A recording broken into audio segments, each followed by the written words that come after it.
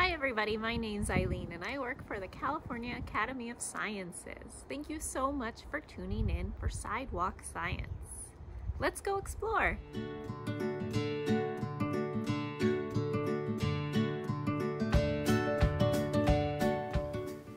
We are going to do sidewalk science. What that means is that in a moment, we get to go outside onto our sidewalks and look for bugs.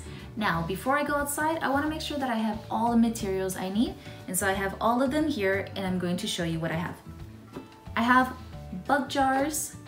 These are really helpful because I'm going to put my bug in here and it's nice that it's see-through so that I can look at my bug with my family. Now, maybe you're someone who wants to be extra gentle or you might be someone like me who doesn't like to touch all the bugs. So I still want to explore the bug but I wanna be careful with it. And I'm gonna use a paintbrush. Or if you don't have a paintbrush, you could use a popsicle stick or any stick that you might have, and it will do the exact same trick. I also have a light colored towel. This is a towel that I no longer use. Maybe you have an old t-shirt, an old t-shirt, but you wanna make sure that it's light in color, and we'll show you a little bit later why that's important. But if you have a really nice tree outside or a bush that you can shake, might get some bugs on here. I have tape. This is optional. Don't worry if you don't have this or some string. It's just gonna create a boundary or a square onto your sidewalk and I'll show you a little bit later how I use that. Again, this is optional. All right, so I have all these materials. I think I have everything. Now it's your turn to go ahead and go with your family and find your materials. And then you get to go outside onto your sidewalk and do sidewalk science. See you at the sidewalk.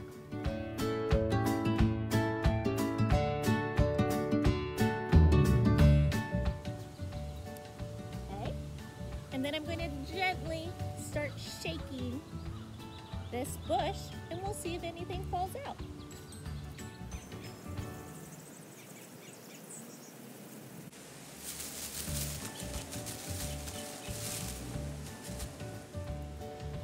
Okay, scientists, so I'm just gonna use this old jar I found in my house and a paintbrush to see what came out of this bush I'm gonna gently brush it into this jar so that I can take a closer look.